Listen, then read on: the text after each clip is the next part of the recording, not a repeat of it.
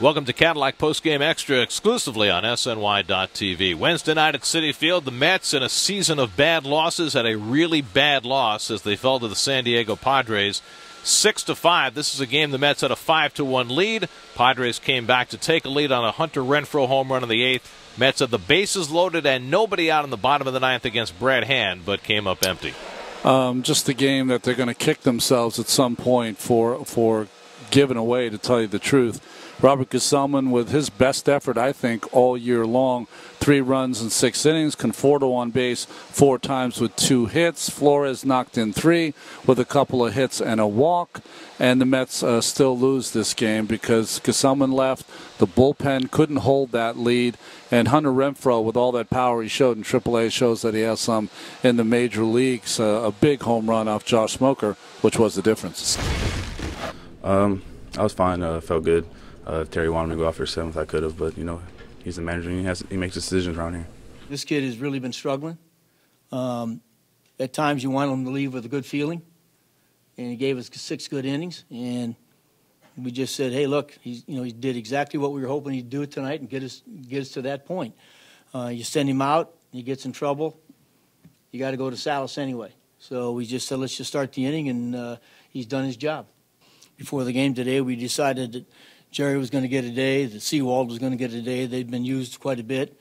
So when we got to the seventh inning, we thought, hey, this is, you know, Fernando's guy to bring in right now and get, you know, get us to the eighth where we'll kind of mix and match in the eighth inning.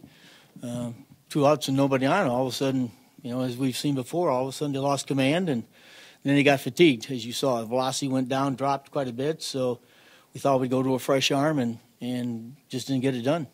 No, we've done it before. Um, I've got the I got the two first outs, and then after that, the next batter made me throw a lot of pitches, which may have tired me a little bit. But we prepared for this, and it's the same thing.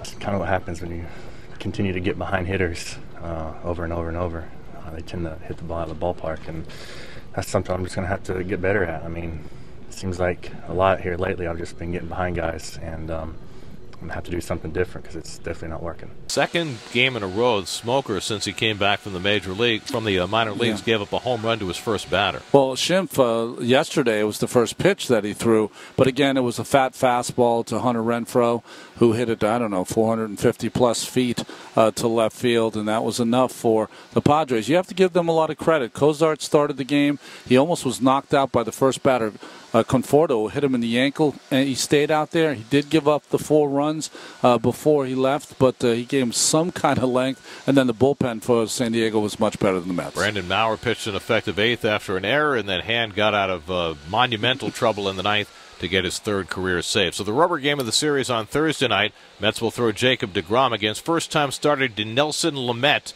for San Diego. Our coverage begins with Cadillac first pitch Thursday night at 6 o'clock on SNY. That'll do it for Cadillac Post Game Extra. Be sure to join us after every game for exclusive coverage on SNY.TV.